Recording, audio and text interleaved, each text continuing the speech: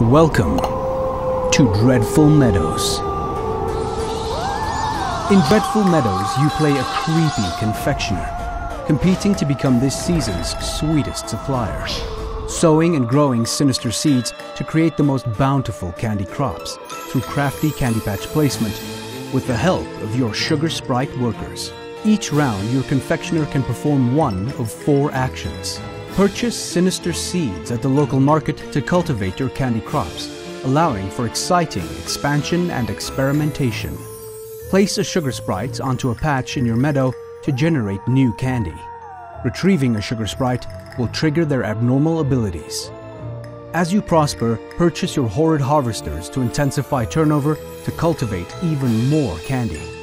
Combine your harvesters, allowing for a chain reaction of candy creation.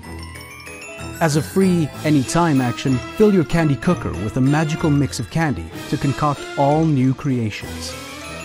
The final round is triggered when either there is only one harvester remaining, the sack is emptied of patches, or all concoction cards have been drawn, and then it's time to tally up the victory points. Who will be Dreadful Meadows' sweetest sensation?